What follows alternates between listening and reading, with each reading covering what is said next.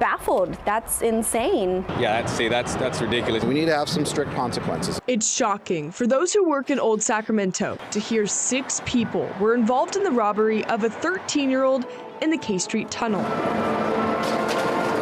Three of those suspects are adults.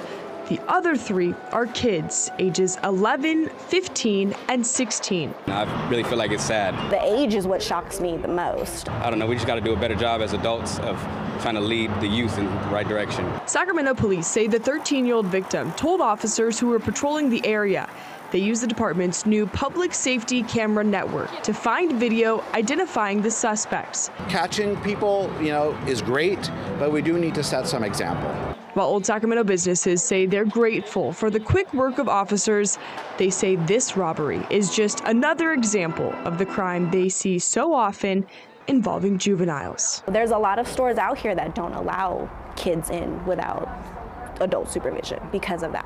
For the most part, is a you know a nice police presence here, a big police presence here. I think if the right enforcement is in place here, um, you know, this should be a, a, a, safe haven and a great place for, for not only you know tourists, which is our number one tourist destination for us, but for our local citizens